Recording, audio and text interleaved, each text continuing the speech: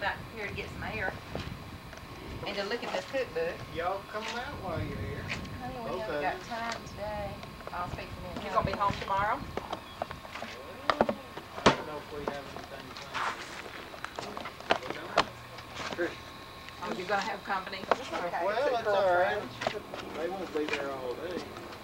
Well, if we get in the drive and taking a drive mood, we might drive down. I bet No. they'll be digging in been the dirt. Oh, if we leave about six o'clock in the morning. You leave that early, you might get breakfast. Get breakfast, you come that early. What you having? Whatever you want. I bet y'all are waffle makers and everything, aren't you? Mm-hmm. Well, He makes that good maple syrup to go on them. He makes it. do you like the poem I sent you? Yeah. I'll put it down. There was a spider on the bush up there. We had to get down here. I got rid of him. I told you it's There there. was one out noticed- here too. We came I out here never noticed those pennies in there before. there was another welcome spider out here. Did you?